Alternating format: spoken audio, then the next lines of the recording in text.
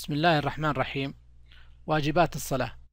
من واجبات الصلاة التكبيرات غير تكبيرة الإحرام كتكبيرة الركوع وتكبيرة السجود وتكبيرة الرفع من السجود وهكذا.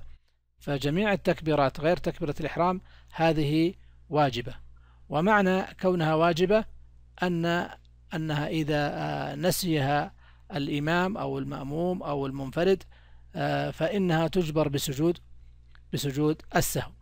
والدليل على أن هذه التكبيرات من الواجبات قول النبي صلى الله عليه وسلم إذا كبر الإمام فكبروا وإذا قال سمع الله لمن حمده فقولوا ربنا ولك الحمد فقوله كبروا وقوله فقولوا هذا أمر والأمر يقتضي الوجوب. آه، من الواجبات كذلك آه، التسميع والتحميد وهو أن يقول الإمام والمنفرد سمع الله لمن حمده ويقول المأموم ربنا ولك الحمد.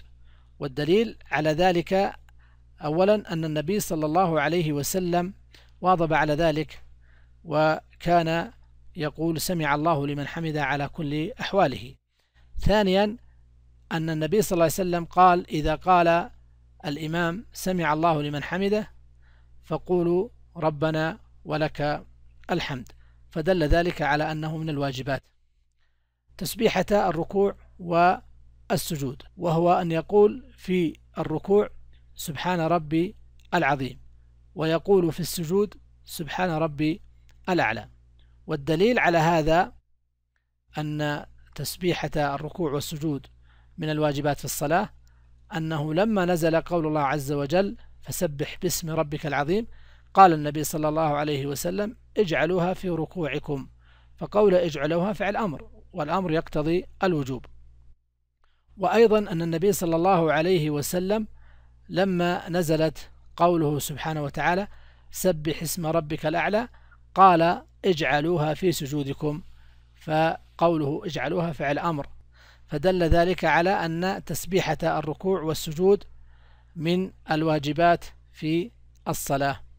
من الواجبات في الصلاة كذلك أن يقول آه، المصلي في الجلوس بين السجدتين آه، ربي اغفر لي وهو سؤاله للمغفرة مرة واحدة.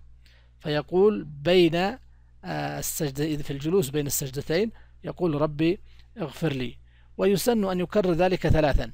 الواجب أن يقول رب اغفر لي مرة واحدة. فلو كررها ثلاثا فذلك سنة.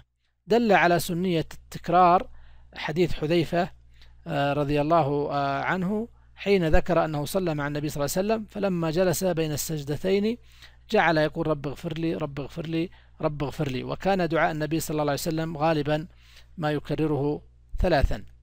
أيضا من الواجبات التشهد الأول والجلوس له. فالتشهد الأول أن يقول التحيات لله والصلوات والطيبات السلام عليك أيها النبي ورحمة الله وبركاته.